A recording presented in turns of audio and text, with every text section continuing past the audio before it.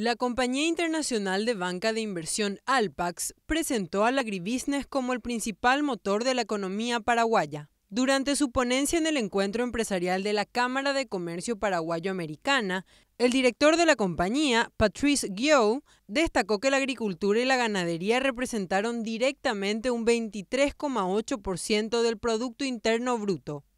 El mayor porcentaje del PIB es de 21,4%, representado por el aglomerado de distintos rubros. El comercio obtuvo el tercer mayor porcentaje del PIB con un 14,6%, seguido por la industria con un 11,2%, energía eléctrica 10,1%, consumo de gobierno 7,6%, impuestos 6,1% y servicios 5,2%.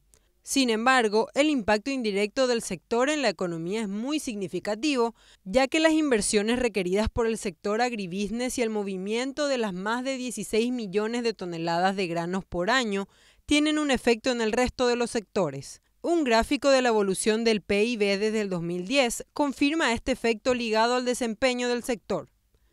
Las sequías registradas en el 2009 y 2012, que significaron una disminución del PIB, dieron paso en los años siguientes a los más altos niveles de crecimiento de la renta como resultado de los récords en cosechas. En 2010 se registró un crecimiento económico de 13,1%, en el 2011 el número se redujo a 4,3% y cayó en un 1,2% en el año 2012. Una expansión histórica se registró en el 2013 con un 14% de crecimiento, y a partir del 2014 el país crece con un porcentaje sostenido de entre 3 y 4%. El sector representó además el 59% de las exportaciones, que alcanzaron un total de 8,5 billones de dólares en el 2016. En porcentajes, el 25% de lo exportado corresponde a energía eléctrica, el 21,4% a granos de soja, seguidos por un 13,6% de carne, 10% de harina, 8% de cereales, 5,5% de aceites vegetales y otras exportaciones que representaron un 15,5%.